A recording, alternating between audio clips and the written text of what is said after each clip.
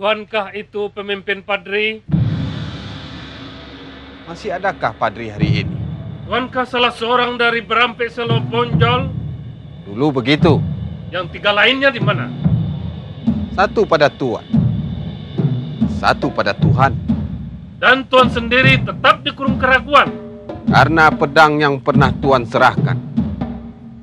Buatku ragu memilih yang mana. Ini Tuan pun ragu memilih salah satunya. Ada saatnya dalam hidup ini kita ragu. Ini giliran Tuan. Pilih yang mana? Di tanganku kini. Pedang pusaka kehormatan Bonjol. Lalu siapa yang berhak atas pedang ini? Bonjol dengan kehormatannya.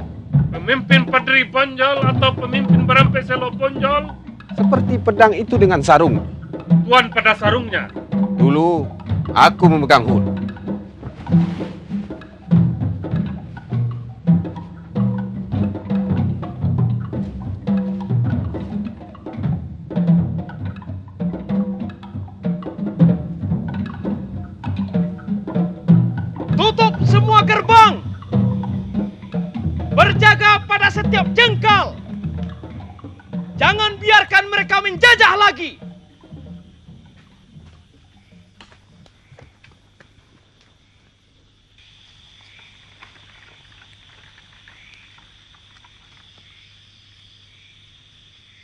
Tuanku Imam.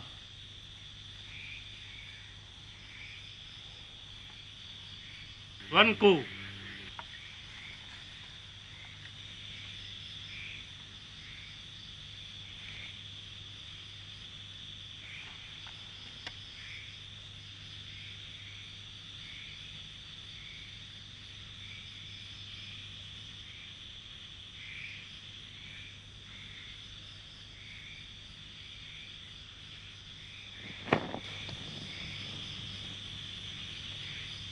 Sekarang giliran Bonjol.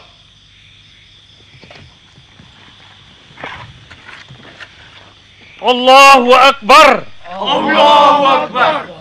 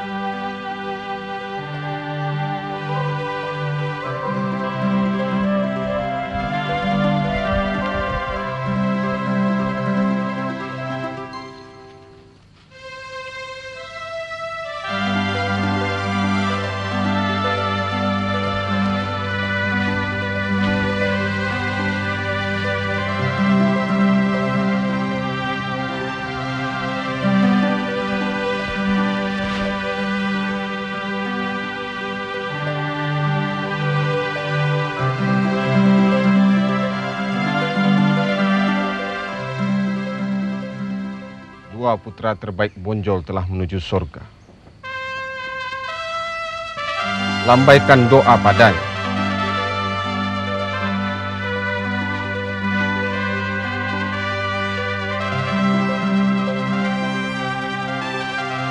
Bagiku, dia putra tercinta. Sebelum membuka kelam. Kesedihanmu, kesedihan Bonjol. Doakan gantinya yang lebih baik. Gantinya hanya perdamaian.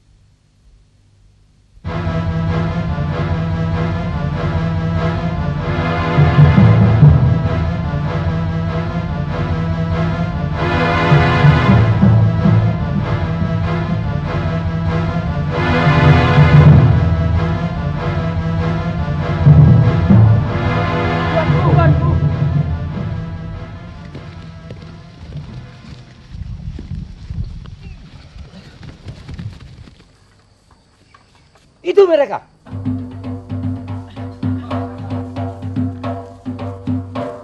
Bagaimana Tuanku Imam? Badannya lemah. Darah banyak terkuras. 12 tikaman, tapi belum mematikan. Berita ini terlalu dibesar-besarkan. Mungkin saja begitu. Kita tidak menyaksikannya. Tutup segala kemungkinan. Berita ini tersebar. Kita harus secepatnya mengirimkan utusan-utusan ke daerah-daerah. Bantuan tenaga dan senjata saat ini sangat kita perlukan. Pihak Belanda baru saja menambah jumlah pasukannya. Mereka akan segera melakukan serangan besar-besaran kalau Tuanku Imam tidak memberikan jawaban yang memuaskan. Apakah utusan yang akan diberangkatkan akan diberitahukan juga? Jangan! Nanti mereka akan menyiarkan ke seluruh negeri. Berangkatkan mereka dengan cepat. Katakan Tuanku Imam tidak sempat menemui karena harus mengadakan rapat mendadak. Percobaan pembunuhan Tuanku Imam pasti dilakukan orang dalam. Kita harus melakukan penyelidikan yang cermat. Siapa tahu pimpinan yang lainnya terlibat.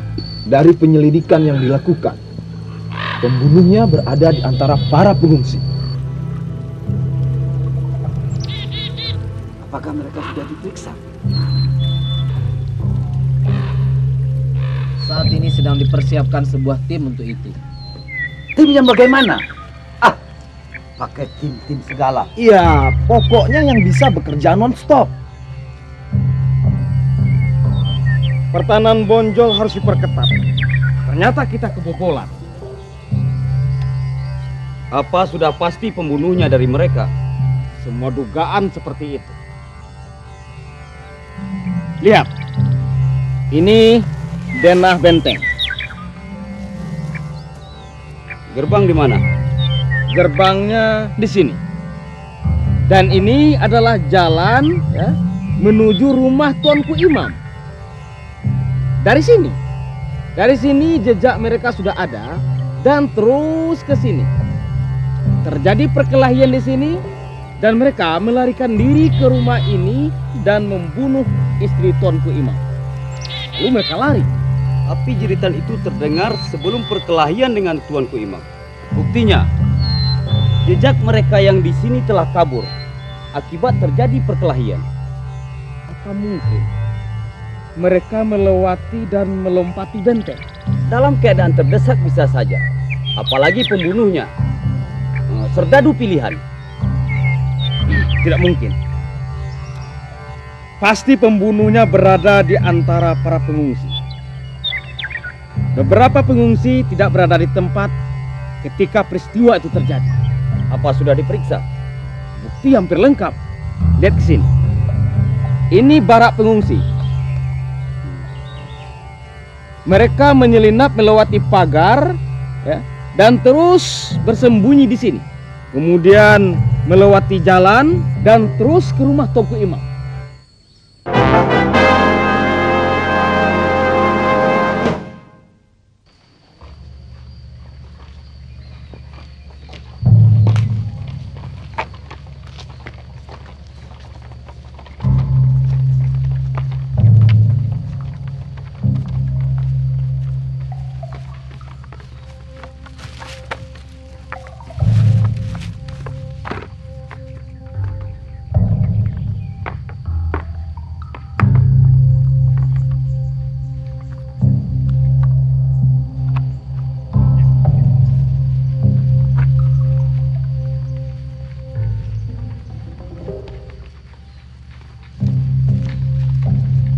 Siapa yang memerintahkan menaikkan bendera putih? Tuanku Imam, Haruskah Bonjol diserahkan lagi pada penjajah? agar penyerangan Belanda diundur beberapa saat sementara bantuan datang. Kita saat ini terkepung lebih ketat. Mengapa harus menyerah? Takut. Kita telah memutuskan hubungan di timur agar mereka tidak menyerang dari sana. Semuanya telah diputuskan Tuanku Imam begitu. Begitu syarat perjanjian yang telah dirundingkan. Perjanjian. Menyerah lebih tepat. Haruskah Bonjol menyerah sekali lagi? Bila kita tidak menaikkan bendera itu, mereka akan menghancurkan Bonjol. Bonjol tidak boleh menyerah. Kita harus bertahan. Bagaimanapun. Tapi ini semua sudah diputuskan Tuanku Imam. Cut, dulu ditinggalkannya Bonjol tanpa pimpinan. Sekarang menaikkan bendera putih. Bukan pengecut. Dia hanya berusaha agar Bonjol tidak hancur. Kalian harus tahu. Bonjol adalah satu-satunya pertahanan terakhir. Ayo turunkan bendera itu. Aku akan tetap menaikkannya dan mengikuti perintahnya. Dia yang menjadi pimpinan di sini. Tuanku, seorang teman kita mereka tangkap dalam penyerbuan tadi malam. Sekarang digantung tinggi-tinggi. Lihat di sana. Mengerikan sekali, Tuanku. Penghinaan ini harus segera kita balas. Kurang ajar. Mereka telah mengkhianati perjanjian. Ayo,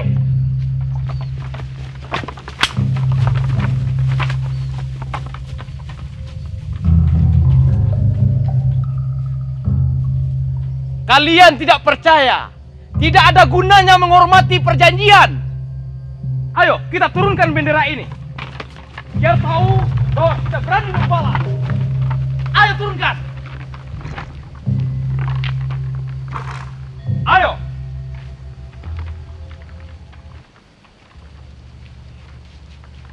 Tuanku Imam membutuhkan darah tambahan. Keadaannya memburuk lagi. Apa darahku cocok baginya? Menurut tabib, hanya darah tuan yang cocok dengan kepemimpinannya.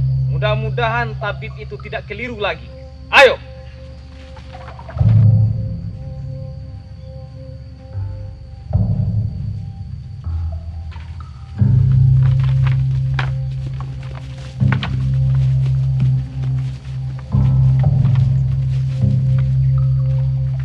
siapa yang menurunkan bendera? Apakah Bonjol akan dibiarkan hancur? Ayo, naikkan lagi.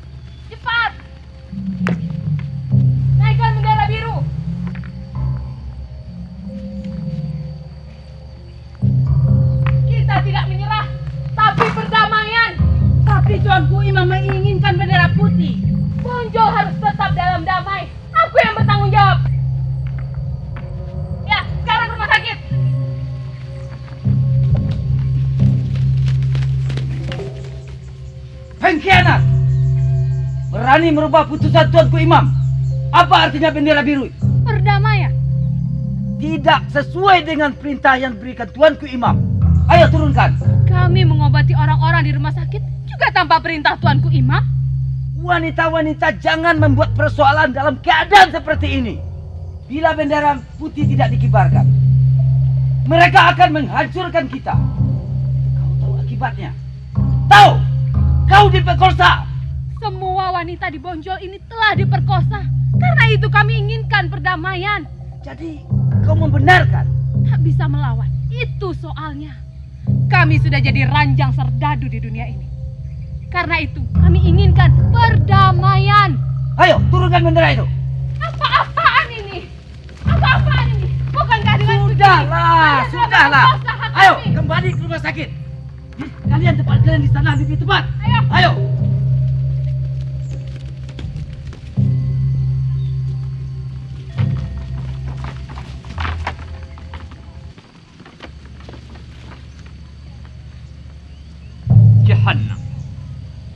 Kenapa bendera diturunkan? Apakah Bonjol akan dibiarkan hancur? Ayo, naikkan lagi.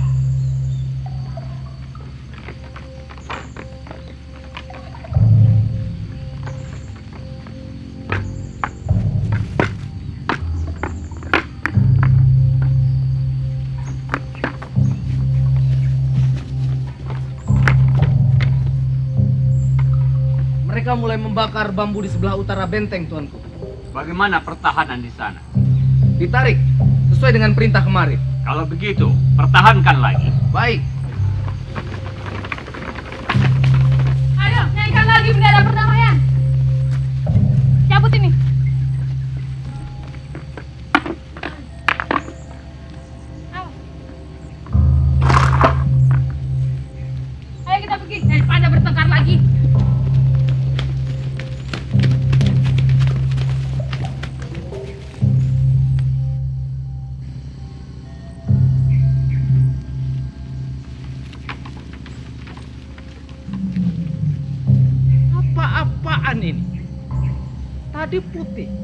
Sekarang biru. Ah, ayo turunkan.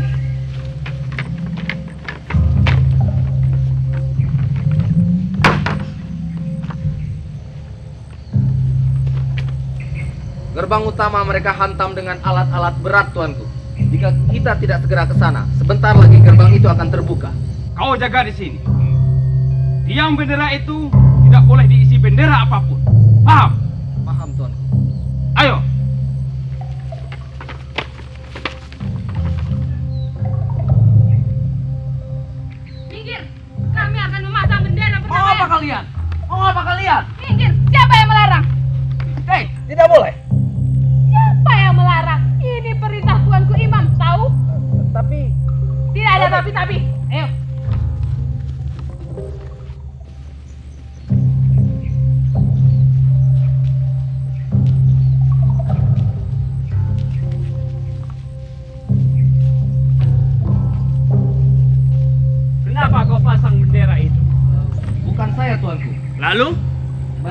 Kandi Bonjol. Mereka mendapat perintah dari tuanku imam. Ah, mereka bertindak sendiri-sendiri saja. Ayo, turunkan bendera biru itu.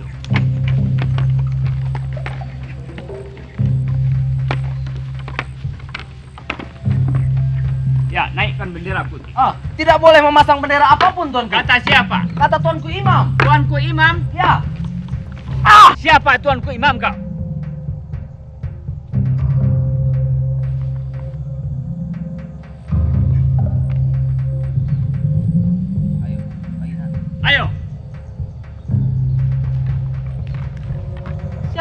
Yang menaikkan bendera? Ngecut.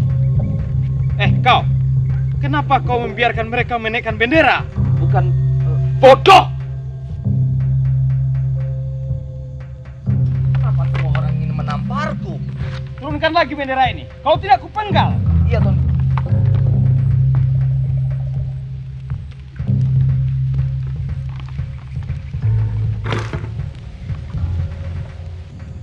siapa yang menurunkan bendera? Jahanam. Setelah mayatku terkapar di bawahnya, baru kau bisa mengibarkan benderamu. Minggir. Ini bendera perdamaian yang lebih besar. Eh, jangan dipasang. Kalau kau keras kepala, kalian akan terluka. Kami telah terluka sebelumnya. Hanya perdamaian yang dapat menyembuhkan kami. Benderamu tidak ada gunanya. Jangan rewel. Hentikan tuan-tuan. Bonjol telah sesak nafas oleh darah.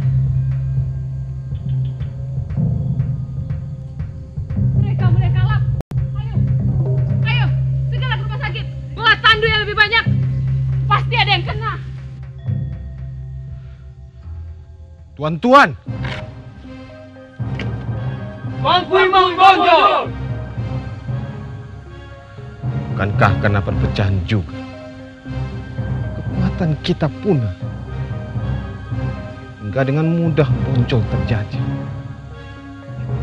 Maka kita tidak mau melihat sejarah Kami harus mempertahankan Bonjol. Kami harus menyelamatkan Bonjol.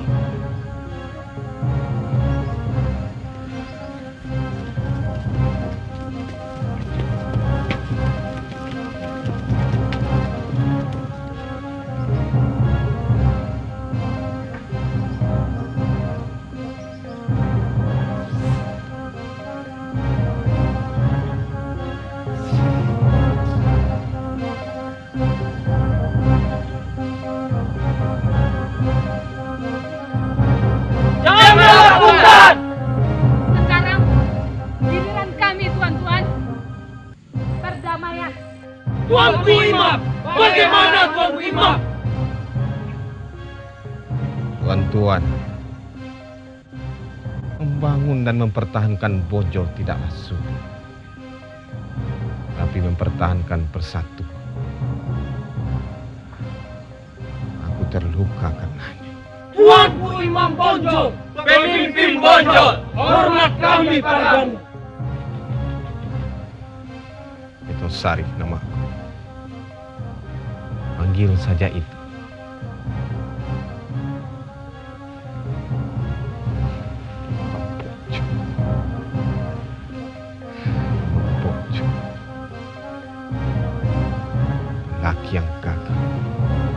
Lintas katulistiwa.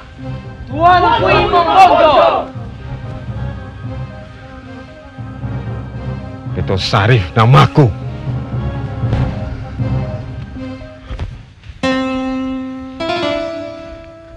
kebesaran Tuanku Imam Bonjol tidak hanya terletak pada bagaimana dia berhasil membangun negeri, tetapi adalah pada pengakuannya yang jujur.